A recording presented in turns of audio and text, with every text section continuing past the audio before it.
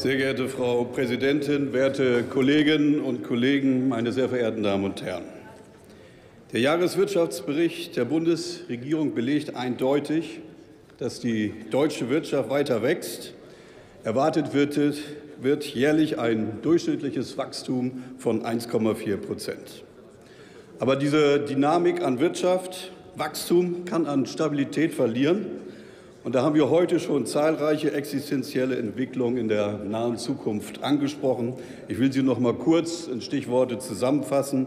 Der Brexit, der Rechts- und auch der Linkspopulismus in Europa, die neue Trump-Regierung, das schwierige Verhältnis zu Russland und die damit verbundene Neuausrichtung der EU. Und dabei müssen wir in die einzelnen Branchen hineinschauen, denn da ist das Wirtschaftswachstum sehr unterschiedlich. So ist die Auftragslage in der Stahlindustrie besser als erwartet. Das ist ja eine deutsche Kernbranche mit 87.000 Arbeitnehmern und die ist gefährdet durch die Billigimporte aus China. Und wir haben ja auch hier zeitnah im Bundestag einen Antrag gemeinsam als Große Koalition eingebracht und das auch entsprechend thematisiert.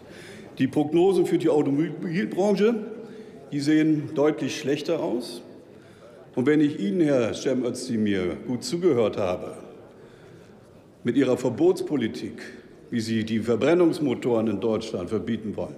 Da können wir nur ganz klar als Union gegenhalten, mit Blick gerade als Niedersachsen auf meine Region. Da sind Zulieferindustrien und ihre Politik, die führt zu mehr Arbeitslosigkeit, zu weniger Ausbildung. Und das ist mit der CDU-CSU-Politik im Deutschen Bundestag nicht zu machen. Meine sehr verehrten Damen und Herren, es ist heute auch viel über Protektionismus gesprochen worden. Da gucken wir nicht nur rüber zu den Vereinigten Staaten, wo womöglich Schutzzölle für ausländische Waren erhoben werden.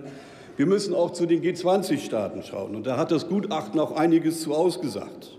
Wir wissen ja, dass die G20-Staaten Befürworter des Freihandels sind. Und da steht tatsächlich drin, dass die Zahl der Handelshemmnisse in den vergangenen Jahren sehr weit angestiegen ist. Seit der Finanzkrise 2008 wurden über 1200 neue bürokratische Vorschriften eingeführt.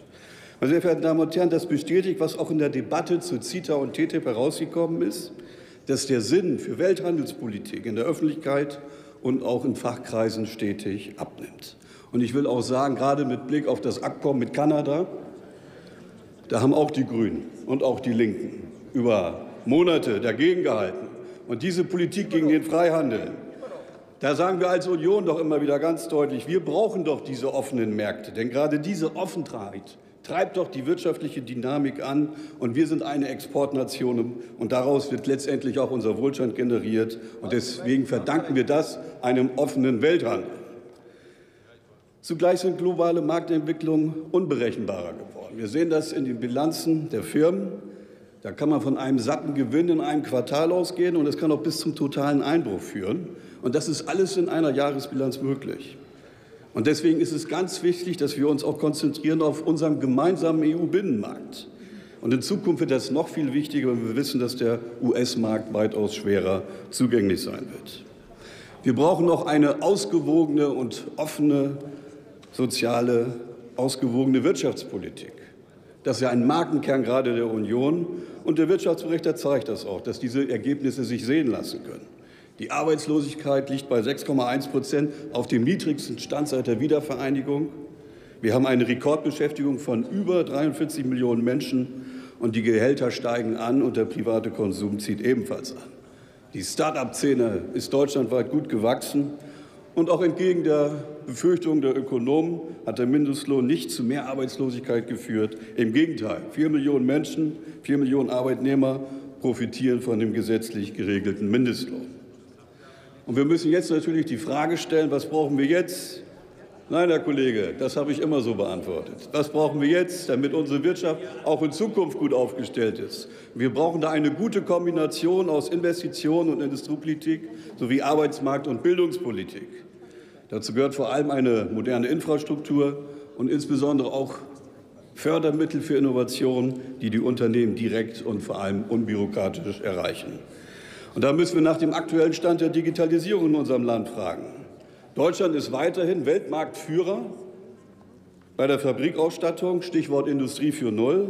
Aber es braucht auch bei einer industriellen Standortpolitik auch weitere Maßnahmen, um das zu stärken. damit wir weiterhin vor den USA und auch vor China liegen. Wir brauchen also einen Wissens- und Technologievorsprung, den wir ausbauen müssen. Die Unternehmen investieren zu wenig in IT und TK hinein.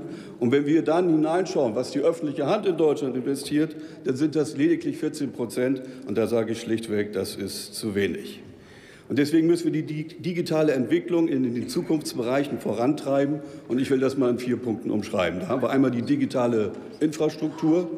Wir müssen den Ausbau von Breitband und Mobilfunk beschleunigen. Das muss einfach zeitlich schneller vorangehen. Und wir sind ja auf dem Weg in eine Gigabit-Gesellschaft und wir dürfen nicht bei 50 Megabit stehen bleiben. Und in der digitalen Bildung, da sind nicht nur Whiteboards und Tablets in den Schulen gefragt, sondern vor allem Lehrer mit Know-how. Wir müssen auch auf Quereinsteiger setzen. Und die Wirtschaft, sie braucht zigtausende von Programmierern. Wir brauchen also mehr Informatikstudiengänge. Und wenn ich in mein Bundesland Niedersachsen hineinschaue, da werden lediglich 20 Quereinsteiger jedes Jahr für den Informatikunterricht ausgebildet. Und das zeigt, das ist im Grunde genommen ganz unten.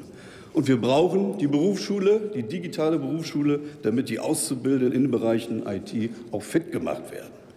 Der digitale Mittelstand, den müssen wir ermutigen, neue innovative Geschäftsmodelle anzugehen. Und hier brauchen wir vor allen Dingen im Bereich der Wertschöpfung und auch bei der Effizienzsteigerung. Und das Bundesamt für Sicherheitstechnologie, das BSI, das kann hier als Dienstleister für den Mittelstand auftreten, damit gerade im Bereich der Sicherheit hier die Grundlagen besser gelegt werden können. Und an letzter Stelle, und da steht sie tatsächlich, die digitale Verwaltung.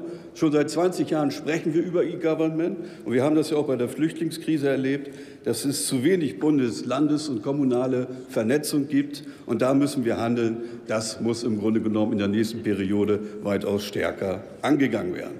Meine sehr verehrten Damen und Herren, ich halte fest, die Rahmenbedingungen im Welthandel sind komplizierter geworden. Und wir müssen noch stärker auf Märkte und Branchen kontinuierlich eingehen. Sie müssen intensiver beobachtet werden, um auch hier neue Wirtschaftsräume aufzumachen. Aber ergänzend und abschließend möchte ich sagen, wir brauchen einen digitalen Ruck in unserem Land. Nur so sichern wir über, diese digitale, über dieses Tage, die digitales Fundament Wohlstand, Standort und auch Wettbewerb. Vielen Dank für Ihre Aufmerksamkeit. Vielen Dank, Kollege.